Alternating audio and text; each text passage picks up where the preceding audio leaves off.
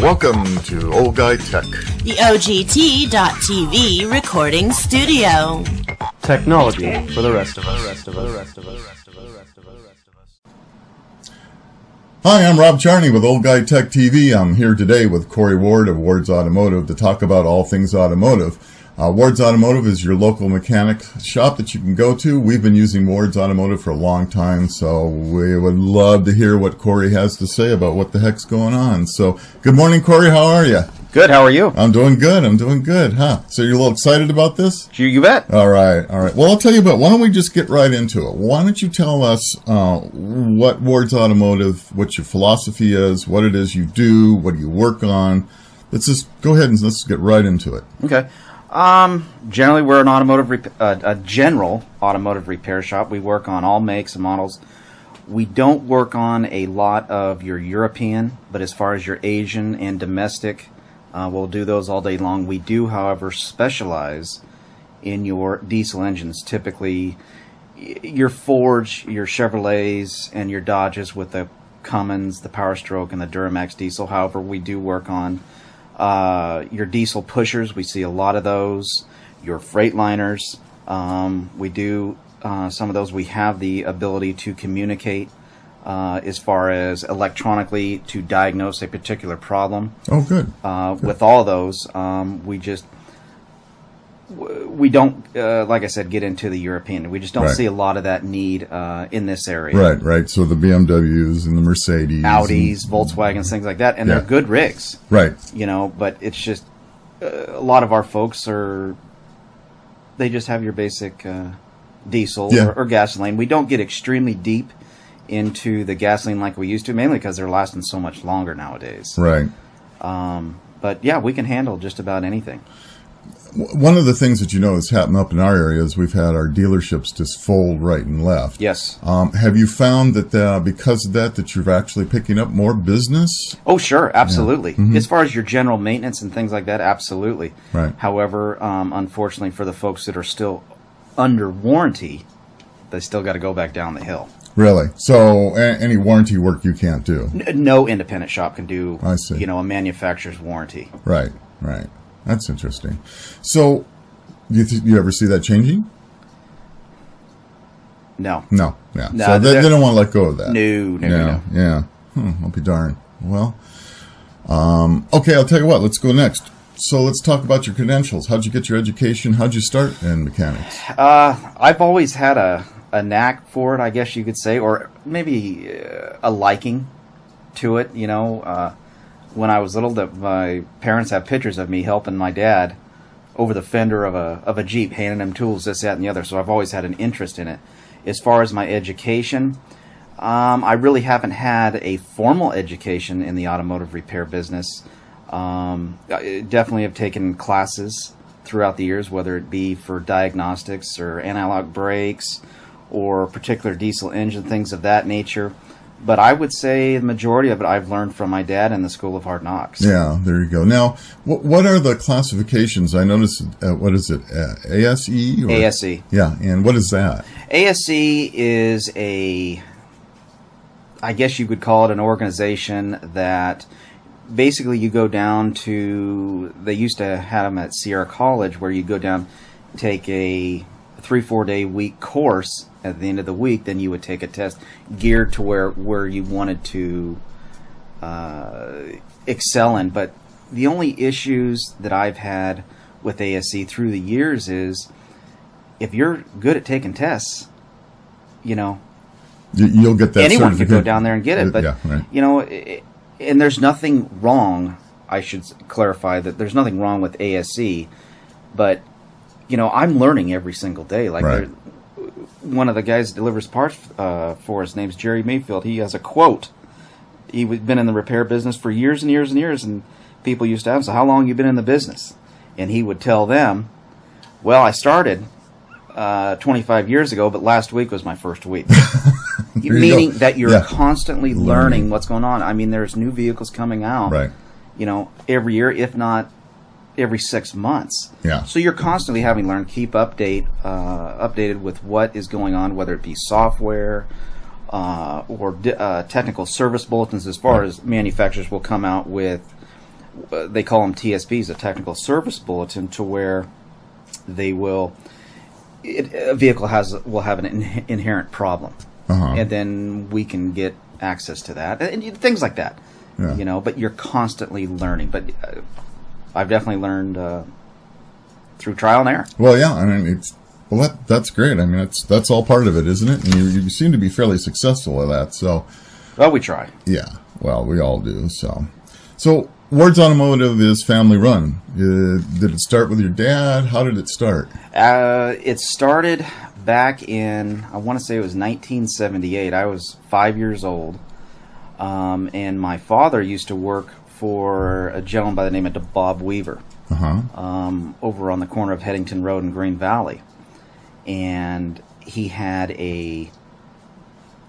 Uh, he was a general auto, uh, repair shop, but he also had a side uh, four wheel drive parts for your old Jeeps, Land Cruisers, things like that. Well, he wanted to sell it. My dad said, "Well, shoot, I'll buy his inventory." It was a smaller inventory, Right. and move that into my parents' garage. And every weekend he would work on uh, Jeeps and other vehicles. And then that kind of got busier and busier, and the ball kept rolling. And uh, he ended up building the shop and uh, where it is now. And then when I got out of college, I uh, started working for him full time. Wow. Right into it. So, but I've always been, I grew up with it. Right. Right. You so, know. So you've been working on mechanics your whole life. Pretty, yeah. Yeah. I mean, you know, if you started as a little kid, that's pretty much your whole Yes. life. Yes. Yes. I've had an interest in it, that's for sure. Well, I know you've been a wealth of information for me, so I, I can understand that. So, um, why don't you talk about the specialties? I know that you specialize in Banks and pack, right? hmm correct. Okay, so let's let's start out with Banks. Why don't you tell us what Banks Power is all about and how it works? Okay. Uh, your Banks Power system, uh, they are an aftermarket company uh, down in uh, Southern California. The simplest way I could put what a bank system does, whether it's for a diesel, gasoline, a motorhome, whether it's gas or diesel, is it will take the vehicle's stock, whether it be exhaust or intake, and it will improve the airflow. That's the main uh, objective we're trying to go after, and what they're trying to go after is trying to get as much air into the motor as fast as we can and trying to get it out as fast as we can. If we can achieve that, then our performance will go up, our economy will go up. Now, economy is a kind of a touchy thing, especially nowadays with the cost of fuel being so high. Um, there is absolutely the potential to get better fuel mileage, whether it's a gas or a diesel, but it's not always a guarantee. It's kind of all dependent on your right foot and how you're going to drive the vehicle. Right, right. You know, so th- does it actually give you more power? Absolutely. Yeah. Okay. Absolutely. That is a given. Um, with the diesels, we can do different things uh, electronically that we plug into these to manipulate our timing, our fuel pressure. End result, we are giving it more fuel and more power, but we also want to compensate by giving it also a lot more air. Right. All right. So with the increase of efficiency of air, that also helps with with the with the mileage as well. doesn't it? Absolutely. Yeah. Right. Yes. So that that part would the really. potential is always there to get better mileage. Yeah. And for the most part, folks do. But it, I'd be fibbing to you if I said that I've had folks come back didn't see anything. Right. Right. You know, but Well, yeah, you, you know, it, it could be minute. Um, so, what is it physically um, bolted onto the engine? What is it? What is it doing? okay. Um, let's just take for example, like uh, we'll say Ford Power Stroke. Right. Okay. Um, we will take uh, and remove this the factory's stock exhaust system. Um, we will install a new, larger exhaust system that is what they call mandrel bent, meaning that uh, most of your diesels uh, or your aftermarket systems now have a four-inch exhaust system, but it's a constant four-inch diameter. So you could literally slide a four-inch ball all the, All way, way through it as opposed to your factory exhaust systems where when they bend them they put them in a brake. And so we go from say a four inch or a three inch and then it's crushed at the corners. And it's impeding our airflow as we're going out. So, why do they do that? time. Oh, okay. it, it, a mandrel uh, brake for an exhaust it, they're quite a quite pricey Mm-hmm. and probably nowadays they just stamp them uh, the exhaust I systems see. and we can't get I mean, they're getting better. Don't get me wrong. As far as your factory, uh, I mean, these vehicles are coming so powerful now. Yeah. But we, there's still things that we can do to improve upon them. Right. So does the bank include a chip? Yeah, uh, not always. I mean, you can you can buy complete kits. You know, where it comes with uh, a chip or a tuner of some kind to give us more fuel. Um, you can buy separate parts, whether you, you just want to go after the exhaust system or you just want to go after the air intake system. You can buy them separately. Okay. You know, or you can bundle them all up and put them all together as one. So does that um, does that avoid a warranty? Technically, no, it does not. However, um, the dealership themselves, they if something happened, whether it was the rear end, the transmission, a flat tire, for all like all that matters, they have to prove that that aftermarket system caused the failure. It can be pretty tough to do, but nowadays it seems more so than ever. I mean, these dealerships they're struggling. And when they take on a warranty claim, they're, I, I got to be honest with you, they're going to look for anything and everything to get out because it's an insurance policy. That's all it is. Right, right. And if they can get out of it, uh, then that's will, money huh? in their pocket. And they're playing a game to where, you know, let's say 10 folks show up for a warranty repair at the dealership. I wouldn't call them crooks and saying that they are going to deny them, but they are going to make it harder for them. And probably only 30% of those people are going to put up a fight. Hmm. You know, the 70% is like, you know what, go ahead and just do it. I don't have time to They're going to roll it. over on it. Exactly. Yeah, exactly. yeah. So, but to answer your question, no, it does not void your warranty. But we tell folks because you know I, I'm not going to lie to them and say no, absolutely, it does not, and you don't have to worry about a thing. If you're concerned the least bit about your warranty, don't do this. Just because I don't want to do anything that's going to give the customer any kind of grief Right. uh, down Right. the road. So do you see more people uh, once the warranties are up coming Yes. in? Yeah, because at that point you have nothing to lose, right? Yeah. yeah, yeah. So, okay, so what about smog?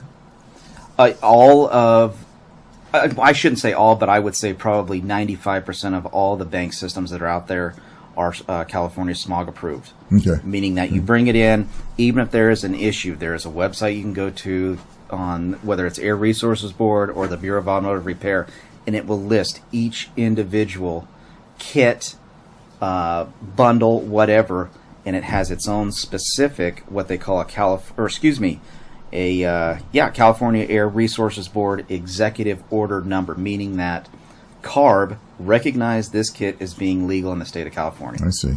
So, and they, about ninety-five percent of them have that. Gotcha. Okay, So, so then that that's not as big a worry now. Everything seems to be smogging pretty well. uh, no, i and we're not doing radical adjustments Right. uh, to the engine. We're, like I said uh, at the beginning, we're the main thing is we're just improving airflow. That that's the main key to a lot of these kits.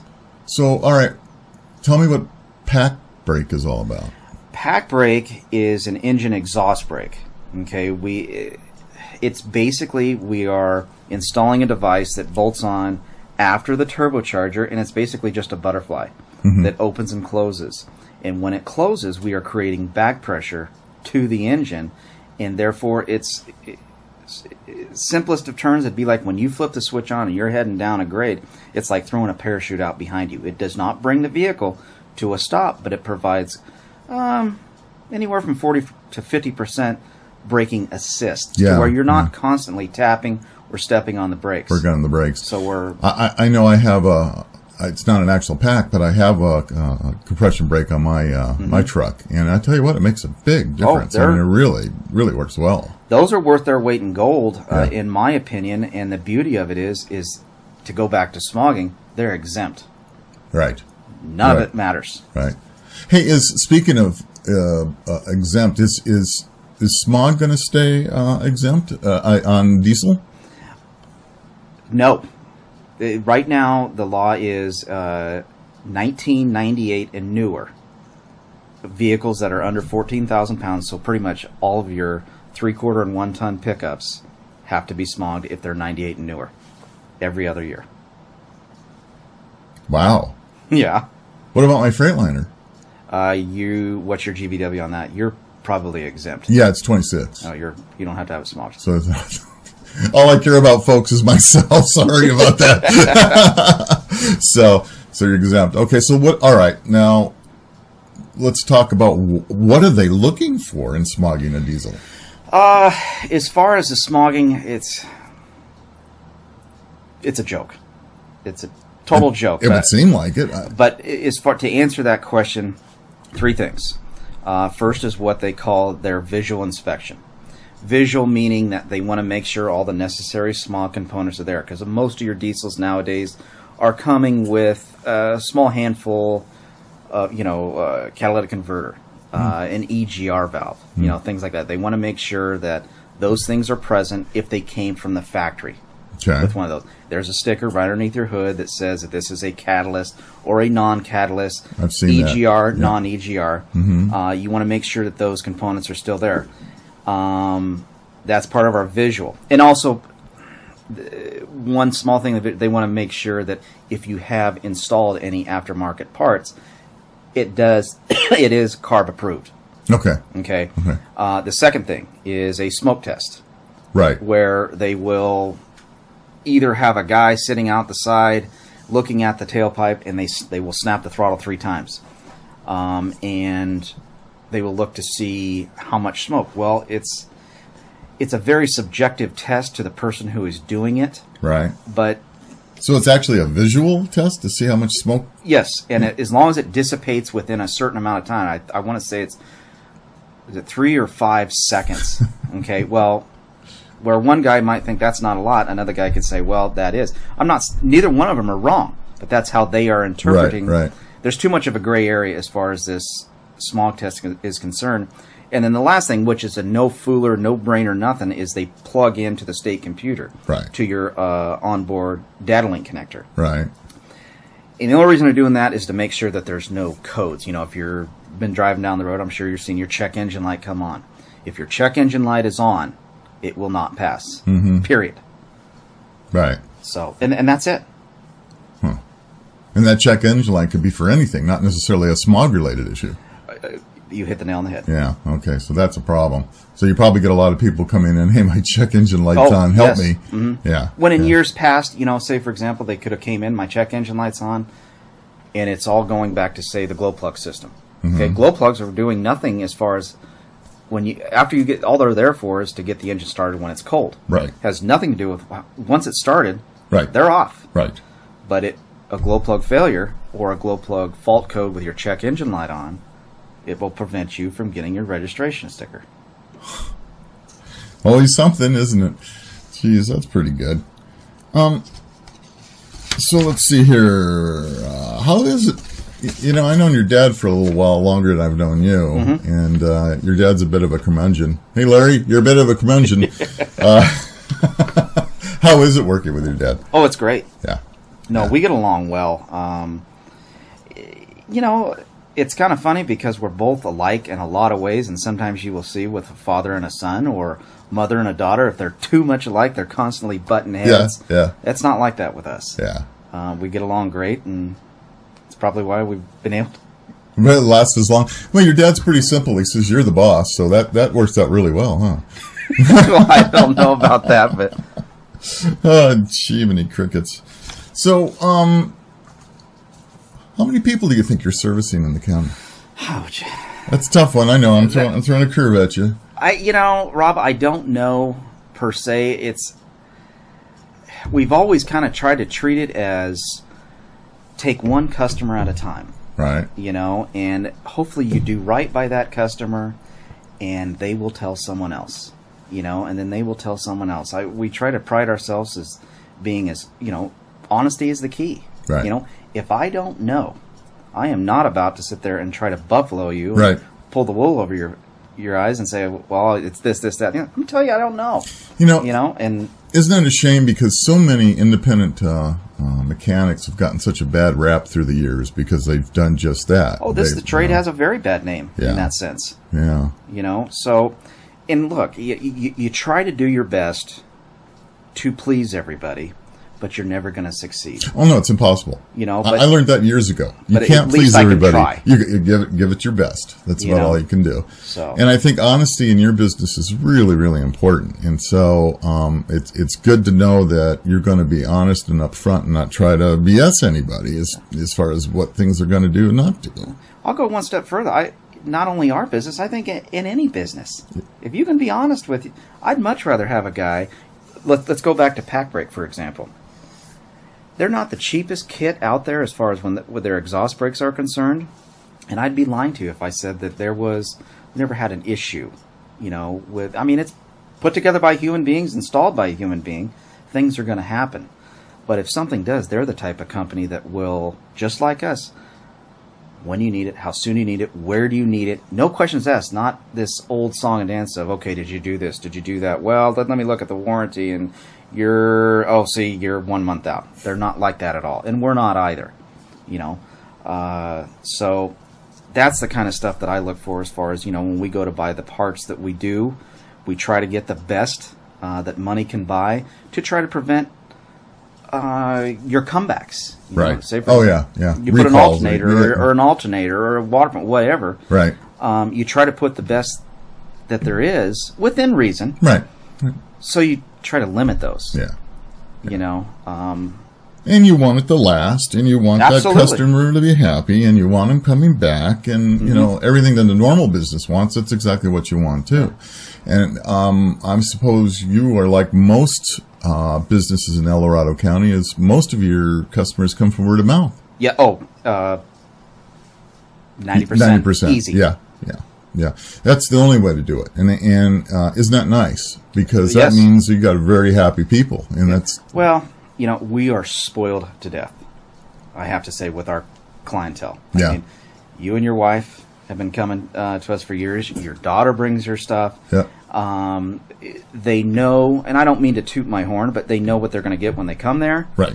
And it's like that. And so when we deal, I, I've always liked to develop a rapport, you know, with our customers. Mm-hmm. Right. You know, I would think of them more as a friend than a client or a customer. You know, I'm working on customer A's car today, Right. that type of thing. You know, how are you doing? How's the kids doing? You know, Yeah.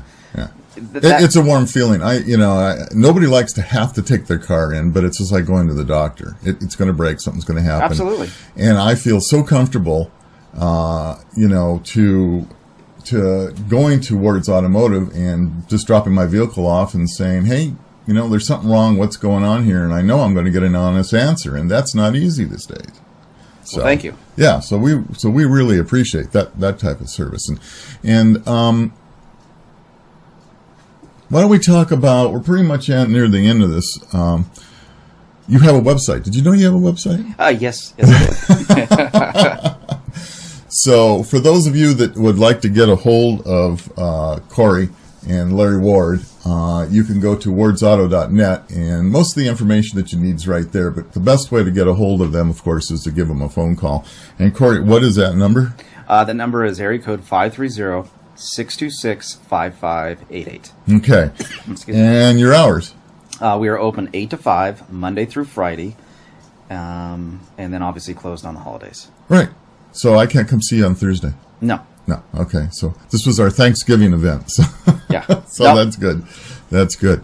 Tell you what, let's give you, you, know, give us, give us a minute, look in the camera, tell us anything you want to tell us about Ward's Automotive that we haven't talked about already, and we'll get this thing wrapped up. Uh, we would love to, for you to come by at the very least. Look at what we have to offer. We have a very family-friendly uh, business. Our cats, our dogs, our kids are running around, and we will treat your car as as if we would treat our own, or more importantly, my grandmother. So if that means anything to you, come on by and take a look.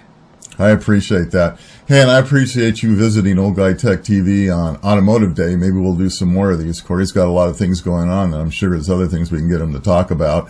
But uh, if you're looking for an independent mechanic uh, in the El Dorado County area, please visit uh, Ward's Auto. Again, that's uh, wardsauto.net on their website. And one more time, I want to thank you for joining us. Without you, we get nowhere. We really wish you would pass the word along to other people about our shows. And we have a survey online right now Uh, go look at that survey. It has a little bit to do with net neutrality, but it's called SOPA that we're dealing with. We'd like you to take that poll account. And all I can say is thank you very much. Hey, listen, you guys have a wonderful Thanksgiving, and we really enjoy it. And Cory, thank you for coming. Thank We you very much. It. it was wonderful having you, and we'll see all of you later. Bye.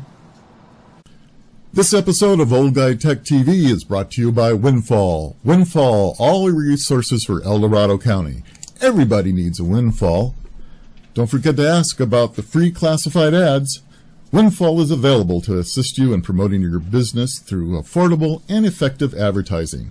Call Windfall at 530-621-1698 or send an email to info at shop.windfall.com. And thank you, Windfall, for supporting Old Guy Tech TV. We'll see you next time.